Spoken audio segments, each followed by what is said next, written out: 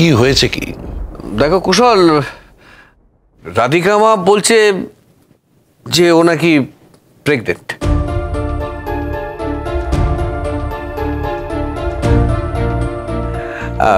তাই নিয়ে অনির্বাণ বাবু আর পোকরাজের মধ্যে একটা ঝামেলা, বচসা শুরু হয়েছে।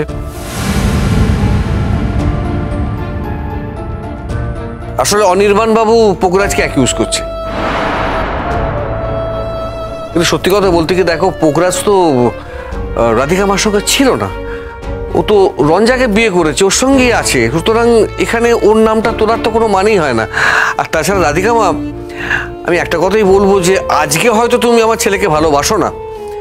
কিন্তু একদিন তুমি তো ভালোবেসেই আমার সন্তানকে বিয়ে করেছিলে। তো সেই খাতিরে অন্তত সত্যি কথাটা বলো। রাধিকার ব্যাপারে কারোর অ্যাডভাইস দেওয়ার কথা আমার মনে হয় না। আমার মনে হয় না কেউ রাধিকাকে এ ব্যাপারে অ্যাডভাইস দিতে পারে।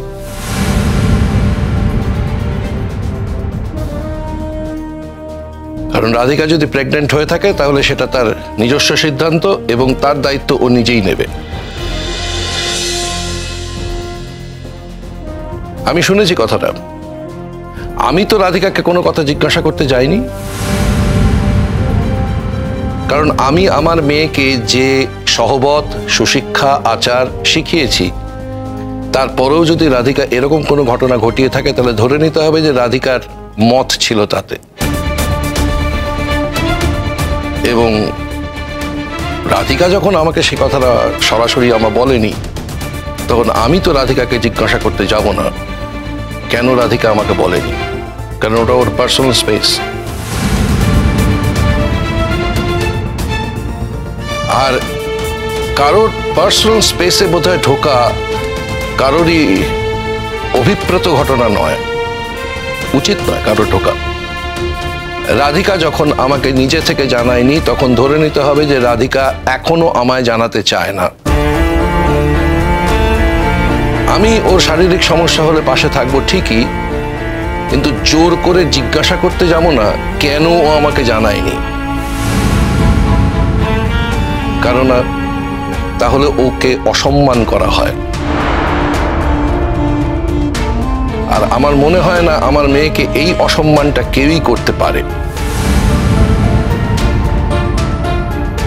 যে রাধিকা কেন প্রেগনেন্ট হলো এবং সকলের সামনে বলল এবং তারপরেও মাথা উঁচু করে কেন দাঁড়িয়ে থাকবে, আমার এ সমস্ত ঠুনকো সামাজিকতার ভয় নেই। সেটা থাকার কথাও নয়। আপনি ওগুলো জয় করে ফেলেছেন। ঠিকই বলেছেন। আমি ওই ভয়টা জয় করে ফেলেছি। কারণ আমি যে মিথ্যের মধ্যে পড়েছিলাম এবং সেই মিথ্যে থেকে সত্যের মাঝখানে এসে দাঁড়িয়েছি, যে ঝড়ের মধ্যে দিয়ে গেছি, তারপর আর আমার কোনো ভয় নেই। আমি আর কাউকে কোনো রকমভাবে কোনো বিষয় পরোয়া করি না। এবং আমি চাইও না আমার মেয়ের জীবনে সেই অকারণ ঝড়টা উঠুক। অনির্বাণ, তুমি আমার মেয়ে যদি তোমার বিশ্বাসভঙ্গের কারণ হয়ে থাকে, তুমি লিগ্যাল স্টেপ নাও। এখানে দাঁড়িয়ে অকারণে অন্য লোককে অ্যাকিউজ করে চিৎকার, চেঁচামেচি করে তো কোনো লাভ হচ্ছে না। আর তাছাড়া আজকে তুমি জানতে পারছ আমার মেয়ে প্রেগনেন্ট তুমি তো তার আগেই বিয়েটা ভেঙে দিয়েছিলে। তখন তো আমার মেয়ের মনে ঘা লেগেছে। আজ তোমার তো মনে ঘা লাগার কোনো কারণ নেই। তোমার সঙ্গে কোনো সম্পর্ক নেই আমার মেয়ে তারপরে আমার মেয়ে কোথায় যাচ্ছে, কার সঙ্গে থাকছে, কীভাবে প্রেগনেন্ট হচ্ছে, সে ব্যাপারে মাথা গলানোর অধিকার বোধহয় কারণ নেই। কারণ না। একমাত্র আমার মেয়ের আছে। এটা তার ব্যক্তিগত সিদ্ধান্ত।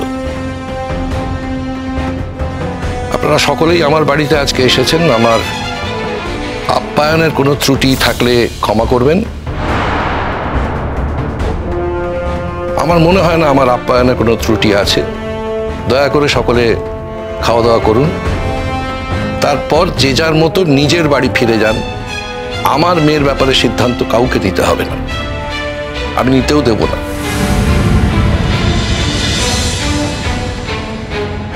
এক মিনিট। প্রথম কথা আমি এটা বিশ্বাস করছি না যে রাধিকা প্রেগনেন্ট রাধিকা কিন্তু নিজেই কথাটা বলেছে দ্যাট শি ইজ বললেও অঙ্কিতা বললেও করছি না। আমি রাধিকাকে যেভাবে চিনি যতটুকু চিনি তাতে করে নিজে কোনো কাজ করে অন্যকে ফাঁসানোর মেয়েও নয়। ও সারা জীবন অন্যের দোষ অন্যের দায়িত্ব নিজের কাঁধে নিয়ে এসেছে। প্রয়োজন আজকেও তাই নেবে।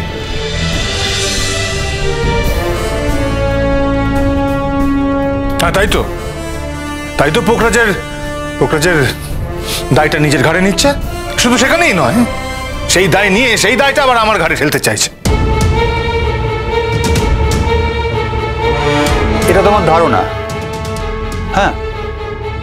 এই কথা সম্পর্কে তোমার কাছে কোনো যুক্তি নেই? শুধুমাত্র ধারণার বশবর্তী হয়ে। কারও সম্পর্কে কথা বলা যায় না? আর আমি ধরে নিচ্ছি প্রেগনেন্ট সো হোয়াট তা তো তোমাদের অসুবিধে কোথায়? ও তো কারও নাম বলেনি?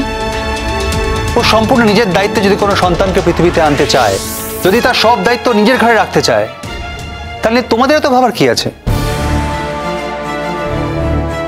কি বলছো কি তুমি? একদম ঠিক কথা বলেছি।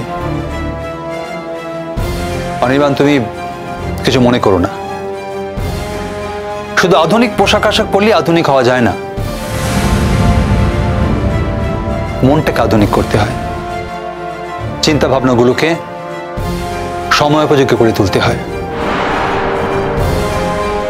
কি জানো? একটা সন্তানকে পৃথিবীতে আনতে গেলে একজন পুরুষের প্রয়োজন হয়। তাই এত কথা উঠছে। যদি তা না হতো, তাহলে তো এত কথা আসতোই না। একটা অ্যাডাল্ট মেয়ে যদি সম্পূর্ণ নিজের দায়িত্বে, একার সিদ্ধান্তে একটা সন্তানকে পৃথিবীতে আনতে চায়, যদি তার দায়িত্ব সে কারও ঘরে না চাপিয়ে সমস্ত দায় নিজে একার কাঁধে রাখতে চায়, তাহলে তাকে আমাদের অ্যাপ্রিসিয়েট করা উচিত, বাহবা দেওয়া উচিত।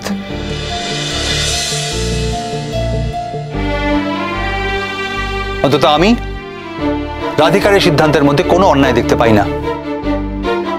রাধিকা তুমি যদি এই ব্যাপারে আমায় কিছু বলতে চাও তুমি নির্দ্বিধায় বলতে পারো। না সমুদা। আমার এই ব্যাপারে কাউকে কিচ্ছু বলার নেই। আমি তো ভাবতেই পারছি না যে এই ব্যাপারটাকে তুমি এইভাবে দেখেছ। তুমি কি ভেবেছিলে? আমি এটা অন্য কোনোভাবে দেখব। অঙ্কিত আইন তুমিও জানো আমিও জানি। কিন্তু কি জানো? জীবনের কঠিনতম কোনো মুহূর্তে তুমি যদি সেই আইনের সঠিক প্রয়োগ করতে না পারো তাহলে আইন জানার কোনো মানেই হয় না। আমি এতদিন দূর থেকে তোমাকে শ্রদ্ধা করতাম। আজ কাছে আসার পরে বুঝতে পারলাম তোমাকে শ্রদ্ধা না করে পারা যায় না। আরে না না আপনি এভাবে কেন বলছেন? আরে এটা তো একটা খুব সহজ কথা। আপনি আপনার নিজের জীবনেও এই কথাটা বারবার নানাভাবে বলেছেন। মানে এটা বলাটাই তো স্বাভাবিক। দেখো সমু রাধিকা যদি আমাদের নামটা বলতো, তাহলে আমরা তার সঙ্গে কথা বলতাম। কথা বলে বুঝিয়ে একটা কিছু ব্যবস্থা নেওয়া যেত। কিন্তু একজন রাধিকাকে ঠকিয়ে বেরিয়ে চলে যাবে সেটা তোমার কাছে ঠিক মনে হলেও শোনো, আমাদের কাছে মোটেই এটা ঠিক মনে হচ্ছে না। আমরা মানতে পারছি না। দেখুন, আমার কাছে রাধিকা যেটা বলেছে সেটাই একমাত্র সত্য। ও যদিও সন্তানের পিতার নাম জানাতে না চায়, তাহলে ওকে জোর করে খুঁচিয়ে সেই নাম জানার অধিকার আমাদের কারও নেই।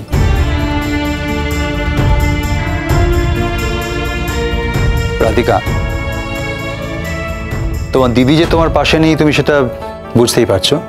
ইনফ্যাক্ট তোমার পরিবারের বাকিরাও তোমার পাশে নেই শুধু তোমার বাবা ছাড়া। তাই তোমার কোনো প্রয়োজনে তুমি নির্দ্বিধায় আমাকে ফোন করতে পারো। থ্যাংক ইউ সৌমদা থ্যাংক ইউ না। শুধু থ্যাঙ্কস পাওয়ার জন্য কথাটা বলিনি। প্রয়োজনে যাতে সত্যি সত্যি ফোনটা করতে পারো তার জন্য কথাটা বলেছি তোমায়।